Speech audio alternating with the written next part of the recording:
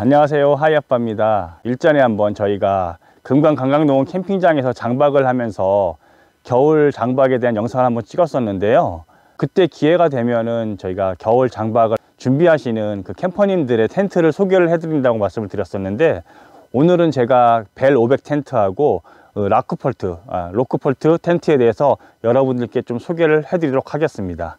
구독과 좋아요를 사랑합니다. 첫 번째로 소개해 드릴 텐트가 어, 한스 캠핑에서 나온 벨 500이라는 텐트인데요.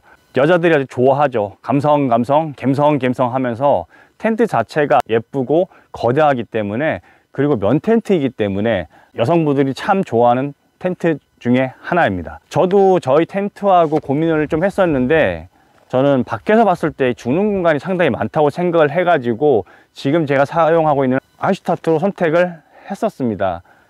근데 안에 들어가서 보고 나서는 조금 생각이 바뀌었어요. 만약에 제가 이 벨 텐트를 안에 들어가서 볼 수 있었던 기회가 있었다면은 지금의 하슈타트가 아닌 이 벨 텐트를 선택을 했을 수도 있었을 겁니다. 우리 실내 한번 들어가 가지고 어떻게 꾸며놓고 계시는지 이번에 장박을 하고 계시는 이 캠퍼님의 텐트의 안은 어떤지 한번 보도록 하겠습니다.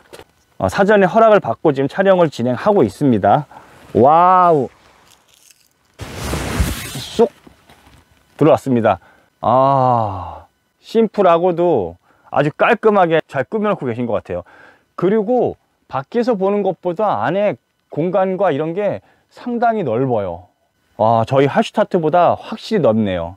아기 인형들도 눕혀놓고 있고요. 아주 심플하면서도 예쁘게 꾸며, 꾸며놓으셨습니다. 어, 일단 환기창은 총 4개가 있어서 환기나 이런 부분은 큰 걱정이 없을 것 같고요. 그 다음에 저희가 고민하게 만들었던 부분이 죽는 공간이 많다고 생각했던 부분이었는데 실제로 안에 들어와서 보니까 이 높이가 상당히 높아요. 높아가지고 그렇게 죽는 공간 없이 잘 가구들을 배치해서 사용하면은 아주 유용하게 그 다음에 넓게 사용할 수가 있을 것 같습니다. 단지 이 벨 텐트의 단점이라 하면은 이 안에서 치사를 하게 됐을 경우 냄새가 음식 냄새가 안에서 잘 빠져나가지 않는 단점이 있어가지고 이럴 때는 항상 벨텐트하고 텔터 조합으로 쓰시는 걸 추천드립니다. 지금 벨 500을 사용하고 계신 캠퍼님은 안에서 음식을 별도로 할 수가 없기 때문에 이렇게 어, shelter를 하나 추가로 해서 사용을 하고 있습니다. 이것도 좀 구하기 힘든 에르젠의 그 라셀 라운지 shelter인데요. 이 안에 자체도 공간이 상당히 넓어 가지고 심플하게 이렇게 잘 꾸며 놓고 계십니다. 자 이렇게 벨 500 텐트에 대해서 설명을 드렸고요. 자 두 번째로 저희가 볼 것은 로크포트 제가 처음에 이거 보고 락볼트라고 했다가 집사람한테 안저히 꾸사리 먹었습니다. 무식한 소리 한다고. 자, 두 번째는 럭코포트라고 하는데 저도 이 제품 자체를 아예 몰랐는데 이렇게 설치된 걸 보고 또 저희 집사람이 얘기를 해줘서 알게 됐습니다. 이렇게 존재감도 크고 정말 크기도 큰 텐트인데 아쉽게 이제 단종이 된 제품이라 가지고 구하기는 힘들다고 합니다. 자, 로크포트 실내는 이렇게 구성이 되어 있는데요. 와, 여기도 상당히 넓습니다. 이 텐트 같은 경우는 별도의 shelter를 두지 않고 사용을 해도 이 안 자체의 공간이 워낙 넓어 가지고 충분히 충분히 사용이 가능할 것 같습니다. 이게 보시면은 이쪽 안쪽에 inner 텐트를 별도로 도킹해서 사용할 수 있게끔 되어 있고요. 이 정도 크기면은 웬만한 가족들이 지내기에는 부족함이 없을 것 같습니다.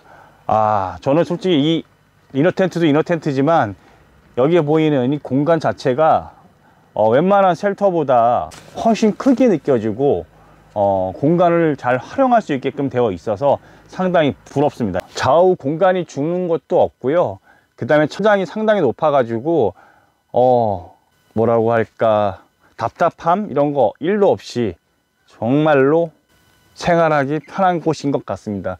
이 텐트는 제가 느끼기에 캠생활인 제가 느끼기에 쉘터와 돔 텐트가 하나의 하나로 합쳐진 듯한 그런 느낌을 주고 있습니다. 구독과 좋아요를 사랑합니다. 안녕. 지금까지 벨 500 텐트하고 로코폴트에 대한 텐트에 대해 소개를 드렸는데요. 다음번에도 저희 캠핑장에서 장박을 하시는 캠퍼님들 텐트를 가지고 한 번 더 소개를 해드리도록 하겠습니다. 자, 지금까지 하이 아빠였고요. 저는 다음에 또 인사드리도록 하겠습니다. 빠이빠이.